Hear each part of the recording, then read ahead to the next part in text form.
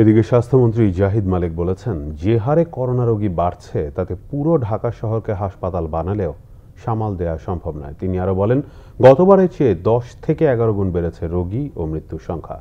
মঙ্গলবার রাজধানীর মহাখালীতে ঢাকা উত্তর সিটি কর্পোরেশনের করোনা আইসোলেশন সেন্টার ঘুরে দেখেন স্বাস্থ্যমন্ত্রী। পরে ব্রিফিংয়ে তিনি বলেন, করোনা মহামারী নতুন করে আগ্রাসী ভূমিকায় নেমেছে। ঢাকার হাসপাতালগুলোতে বেডের সংখ্যা আড়াই হাজার থেকে বাড়িয়ে পাঁচ হাজার করা হয়েছে। এছাড়া প্রাইভেট হাসপাতালেও এক হাজার বেড বাড়ানো হয়েছে। মন্ত্রী বলেন, এর চেয়ে আর বাড়ানো সম্ভব নয়। চিকিৎসক, নার্স ও সংশ্লিষ্টরা চেষ্টা করে যাচ্ছেন লকডাউন দেশ ও মানুষের কল্যাণের জন্যই উল্লেখ করে মন্ত্রী বলেন, সরকার কারও উপর জোর করে প্রয়োগ করতে চায় না।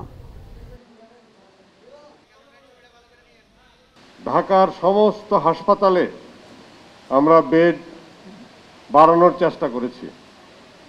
বেড বাড়ানোটা খুবই দুষ্কর, কেন একই বিল্ডিংয়ে নতুন করে বেড দেওয়া খুবই দুষ্কর। আমরা নন করোনা রুগীদেরকে সরিয়ে আমরা করোনা রুগীর ব্যবস্থা করছি। প্রত্যেক দিন যদি পাঁচশো থেকে এক হাজার রুগী বাড়ে, তাহলে পরে আমি যেটা বলেছি, পুরা শহরকেও যদি আমরা হাসপাতালে কনভার্ট করি, তাহলে সম্ভব হবে না।